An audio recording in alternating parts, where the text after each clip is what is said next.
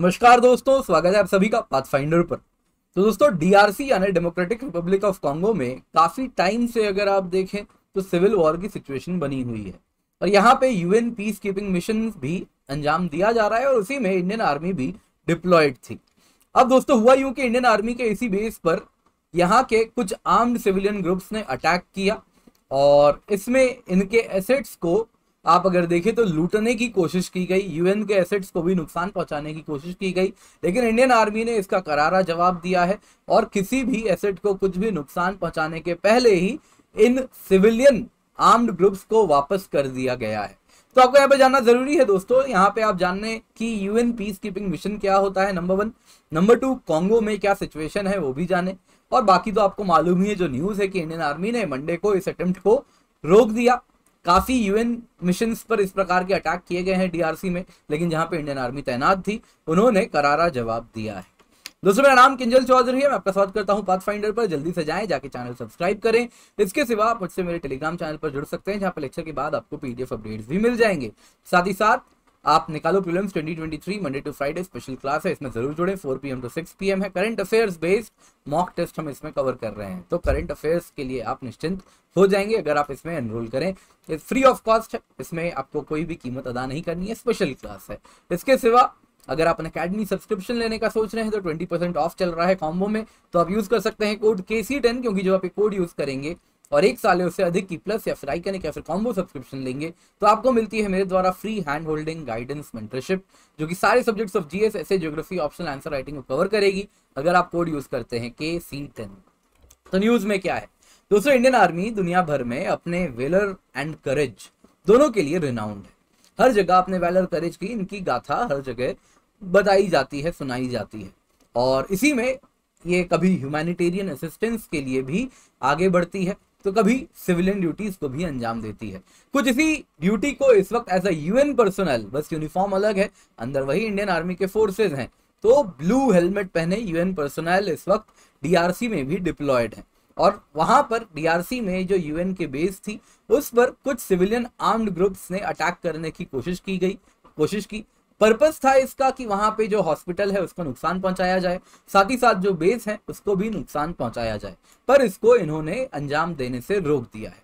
तो दोस्तों यहाँ पे जो मिशन है यूएन पीस कीपिंग मिशन है डीआरसी में इसको काफ़ी ज़्यादा क्रिटिसाइज भी किया जाता है। कारण है कि ये सालों से यहाँ पर है, लेकिन अब तक यहाँ पे जो सिविल वॉर है, वो बंद नहीं हुआ है। सिविल वॉर सालों से अभी तक चली आ रही है। तो यहाँ पे जो यूएन पीस कीपिंग मिशन है कॉन्गो में उसी को मोनेस्को के नाम से भी एब्रीविएशन है MONUSCO UN peace keeping mission in Congo को ही कहते हैं। तो यहाँ पे कुछ सिविलियन आर्म ग्रुप्स ने लार्ज स्केल लूटिंग की यूएन एसेट्स की, जहाँ जहाँ यूएन बेसिस थे, उन पे अटैक करने की कोशिश की। हंड्रेड ऑफ़ प्रोटेस्टर्स आर्म्ड होके यूएन पीस कीपिंग फोर्सेस के वेयर हाउस को लूटने की कोशिश की है। एंड इसी में ईस्टर्न डीआरसी में भी इन्होंने अटैक किया। जहाँ पे अगर आप देखें तो इंडियन पीस कीपिंग मिशन भी इस वक्त मौजूद थी। कुछ यूएन ऑफ़िस कॉम्प्लेक्स को भी इन्होंने कांगो में रैनसैक करने की कोशिश की, लेकिन इंडियन आर्मी ने इसको इंटरसेप्ट कर लिया टाइमली और राइट टाइम पे सिचुएशन को अपने कंट्रोल में ले लिया और इनको वापस लौटना पड़ा। ये जो यूएन पीस कीपिंग मिशन से उलझने सिविलियन आर्म ग्रुप्स यहाँ पर आए थे। पर दोस्तों, यहाँ पे जानना ज़रूरी है कि आखिरकार कॉन्गो में सिचुएशन क्या है। तो अगर आप देखें कॉन्गो में जो सिविल वॉर चल रहा है, ये कोई नया नहीं है। ये 1994 रवांडा के जेनोसाइड से ही चला आ रहा है। तो दोस्तों, अगर आप डीआरसी देखें तो कुछ इस प्रकार से आप इसमें अगर मैप में देखें तो कुछ ये वाला जो ईस्टर्न पार्ट है, यहाँ पे ये रवांडा है। रवांडा अलाइंड जो मिलिशिया है, उनके कंट्रोल में है। यहाँ पे आप देखें तो दिस इज़ युगांडा। तो युगांडा अलाइंड है northern part of DRC and ये जो सदर्न एंड वेस्टर्न पार्ट है, ये अगर आप देखें तो गवर्नमेंट अलाइंड है। गवर्नमेंट कंट्रोल में है, जहाँ पे गवर्नमेंट का कैपिटल रवा डीआरसी का कैपिटल किन्साहासा भी मौजूद है। तो दोस्तों, रवांडा की अगर हम बात करें तो वहाँ पे हुतु जो लोग थे, वो मौजूद थे। और उनको डीआरसी उन्होंने रवांडा छोड़ के भागना पड़ा और वो डीआरसी आ गए।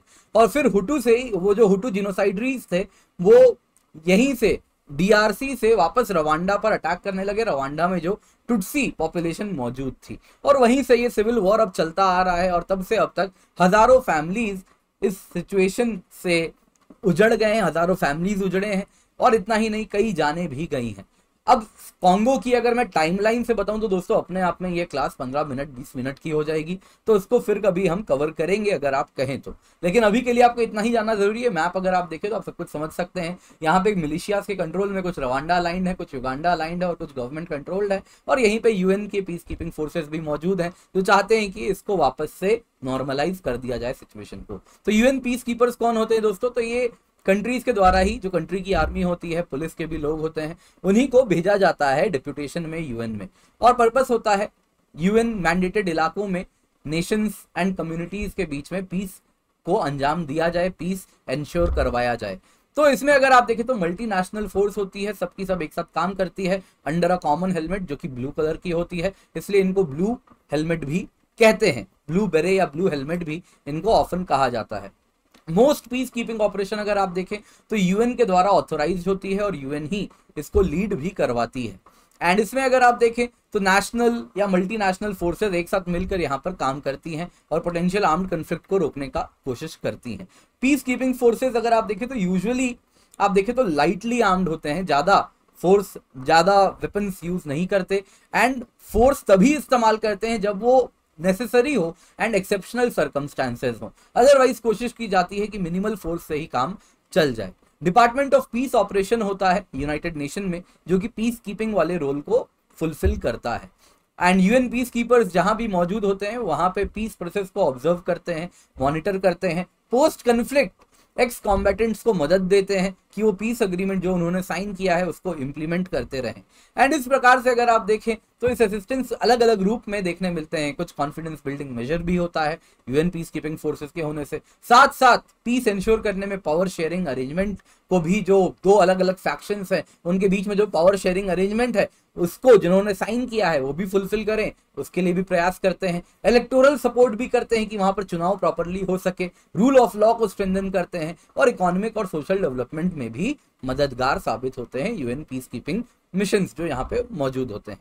तो यूएन पीस कीपिंग मिशन जो होती है, इनकी तीन बेसिक प्रिंसिपल होती है जिससे ये गाइडेड होते हैं। पहला होता है दोस्तों कंसेंट ऑफ़ दी पार्टीज़ ये फोर्सफुल नहीं होता टॉप डाउन नहीं होता। सामने वाले पार्टीज़ को कंसेंट जब वो देते हैं कि हाँ आप आइए यहाँ पर तो ही ये आके मौजूद होते हैं। अगर गवर्नमेंट बोले, यहाँ पे यूएन पीस कीपिंग फोर्स की आवश्यकता है तो ही ये आते हैं। दूसरा होता है दोस्तों इम्पार्शलिटी किसी के साथ भी पार्शियल नहीं होंगे गवर्नमेंट या मिलिटेंट्स जो भी हैं। इसके सिवा non use of force except in self defence use of force तभी होगा जब सेल्फ डिफेंस होगा और जो मैंडेट है जिसके लिए भेजा गया है उसको डिफेंड करना है हर हालत में।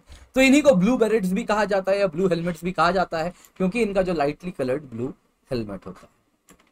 दोस्तों, आज की क्लास पसंद आई हो तो लाइक ज़रूर करें, अपने दोस्तों के साथ इस चैनल को शेयर करें एंड वीडियो को सब्सक्राइब वीडियो को शेयर ज़रूर करें चैनल को सब्सक्राइब करें। इसके सिवा, अगर आप अकेडमी सब्सक्रिप्शन लेने का सोच रहे हैं तो use code K C ten क्योंकि आपको परसेंट ऑफ़ नहीं, आपको मेरे द्वारा हैंड होल्डिंग गाइडेंस मेंटरशिप मिलती है। जब भी आप एक साल या उससे अधिक की अकेडमी सब्सक्रिप्शन लेते हैं using the code K C ten इसके सिवा, दोस्तों अकेडमी इंडिया के बेस्ट एजुकेटर्स हमारे साथ जुड़े हुए हैं। सीएससी जीएस कॉम्बैट भी हम रन कर रहे हैं। संडे को होने वाला है तो मेक श्योर आप इसमें जुड़ रहे हैं। के सी टेन कोड का इस्तेमाल करें और जल्दी से जाएँ जाके एनरोल कर लें। इसके सिवा अकेडमी अनलॉक ऑफ़र चल रहा है। एक साल की सब्सक्रिप्शन की कीमत है fifty five thousand thirty eight rupees for plus combo जिसमें जीएस भी है ऑप्शनल भी है। और एक साल की आइकनिक कॉम्बो की कीमत है seventy seven double two rupees जिसमें जीएस की आइकनिक सब्सक्रिप्शन है और साथ में ऑप्शनल भी आपको मिल रहा है। तो ट्वेंटी परसेंट ऑफ़ आपको मिल रहा है। Use code K C ten for free hand holding guidance mentorship तो आपको सिर्फ़ और सिर्फ़ ट्वेंटी परसेंट ऑफ़ नहीं, आपको मेरे द्वारा हैंड होल्डिंग मेंटरशिप भी मिलेगी। ये ऑफ़र जुलाई उनतीस को खत्म हो जाएगा तो उसके पहले इसका फ़ायदा उठा ले। यूपीएससी सीएससी नोट्स 2.0 भी हम प्रोवाइड कर रहे हैं तो कॉम्प्रिहेंसिव कवरेज है सारे टॉपिक का टाइमलाइंस माइंड मैप्स भी आपको मिल रहे हैं। एक साल या उससे अधिक की प्लस आइकनिक कॉम्बो सब्सक्रिप्शन अगर आप लेते हैं तो आपको फ्री ऑफ़ कॉस्ट घर पर पहुंचवा दिया जाएगा तो ये इंक्लूडेड है। तो मेक श्योर sure इसका फ़ायदा आप उठा सकते हैं। अगस्त पंद्रह ऑनवर्ड्स डिलीवरी स्टार्ट हो जाएगी एंड ये आपको मिलेगा तो आप इसके लिए भी फ़ायदा उठा सकते हैं। सी एस अश्योर प्रोग्राम भी है। दो साल या उससे अधिक की अगर आप सब्सक्रिप्शन लेते हैं और उसके बाद अगर आपको यूपीएससी सिविल सर्विस एग्ज़ाम में मन मुताबिक रिज़ल्ट नहीं मिलता तो आपको एक साल का एक्सटेंशन भी मिलता है। Zero percent E pay loan available है। एन अकेडमी में आप देख सकते हैं, हमारे बहुत सारे लर्नर्स हैं, जो टॉपर्स बन चुके हैं तो इसका फ़ायदा आप ज़रूर उठाएँ and end to end preparation live mentorship का फ़ायदा आप उठाएँ। लेजेंड्स विजडम सीरीज़ हम रन कर रहे हैं। Road to LBSNAA July twenty से स्टार्ट हुआ है। तो इसमें आप ज़रूर हिस्सा बन सकते हैं। और साथ ही साथ यूपीएससी बैचेस हैं, अट्ठाईस जुलाई से स्टार्ट हो रहे हैं तो इसका आप हिस्सा बन सकते हैं अगर आप अभी टाइम दिए अकेडमी सब्सक्रिप्शन ले लेते हैं। Thank you so much for joining have a great day